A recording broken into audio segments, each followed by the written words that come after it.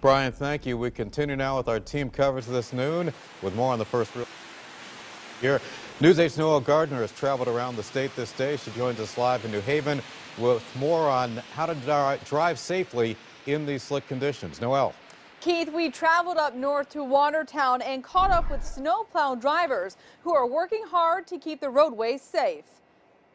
The sea of white snow has plow drivers busy. We get out early enough and, you know, we deal with the traffic and we've got to do parking lots and stuff, but if people, like I said, if people just drive like they're supposed to, they'll be fine. Some drivers who had a close call are using caution, cruising around in the snow and slush.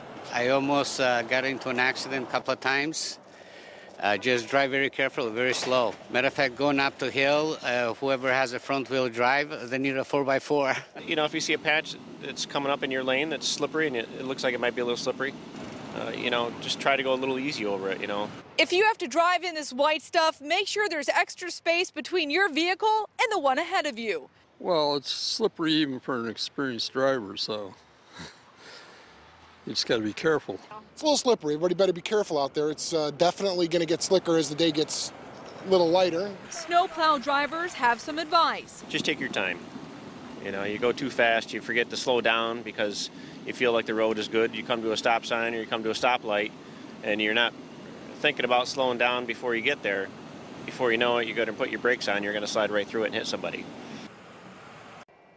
Keith, snowplow drivers say keep your distance. If you're too close to their truck, they won't be able to see you. Reporting live in New Haven, Noel Gardner, News 8.